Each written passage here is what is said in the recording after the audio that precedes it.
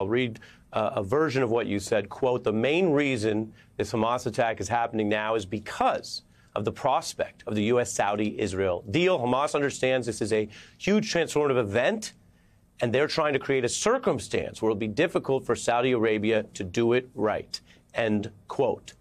Uh, given your extensive experience, as, as, noted at the table, including trying to broker agreements with Palestinian leadership, uh, what exactly do you mean by that? And are you positing um, that Hamas, with its brutality and terrorism, is trying to do something that would uh, undercut or hurt potentially what's in the interest of at least some other elements uh, of the society and the population in, in the territories?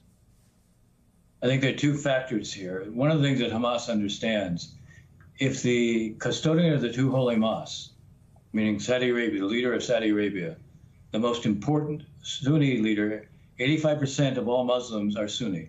The most important Sunni leader makes peace with the nation state of the Jewish people.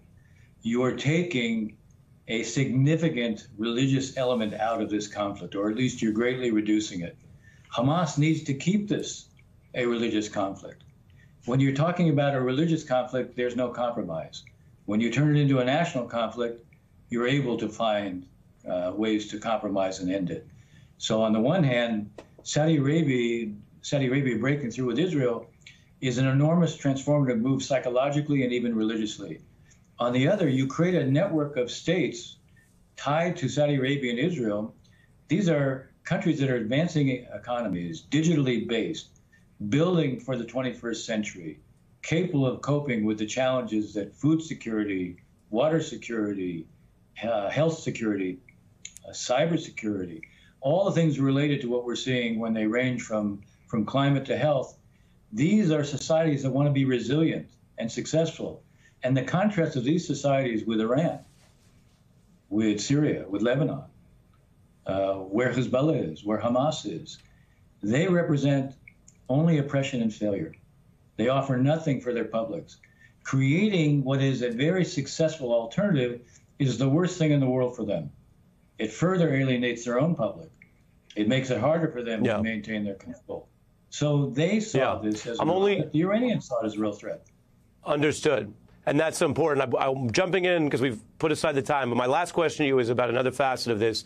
Um, there are those who are concerned or, are critically raising the issue that if Israel under Netanyahu and this unity government goes forward uh, with a major and sustained attack on Gaza um, that involves heavy, heavy civilian casualties, that, uh, however much they say is a, is a, a security decision at this point, um, also sets back everything that, that, you've been working on and talking about. What, what do you say to that? What does it mean, in your view, to have a proportionate response to what you earlier condemned, the, the barbarism and the, and the terrorism? I guess I'd make a couple of points. First, I don't know what proportionality is when you're looking at people who come in and, and decapitate babies and mow down civilians and make it clear that violence will always be their tool. I don't know what proportionality is when it comes to that, number one. Number two, there is going to be an unfolding tragedy in Gaza. We already see it, but Hamas is the one that produces. They bear responsibility, and we shouldn't lose sight of that. Number three, were Hamas to win coming out of this, then the whole rejectionist ideology that they represent, this coalition of what the Iranians like to call the coalition resistance, this coalition would gain enormous uh, momentum from an ideological standpoint. The ability to say, our way works, you see, don't go the way of those who are prepared to negotiate and make peace. We need to have Hamas seen as, as losing the price here is terrible, by the way. The price for the Israelis will be terrible as well.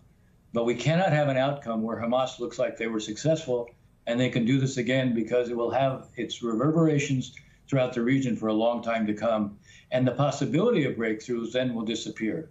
And I think right now, that's not the case. I think that we can come out of this in a way where Hamas has been fully discredited. It's what it stands for has been discredited. And those who want a different future will have a have a real potential. I wouldn't write off a breakthrough with Saudi Arabia sometime when this is over, but certainly right now, hmm. I think it's on hold.